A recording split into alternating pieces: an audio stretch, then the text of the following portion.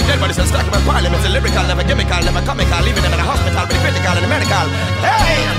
You know, gal and I'm robbing and choking and skinning and playing. Hey! This is what I'm waiting. Them living my house penetrating. When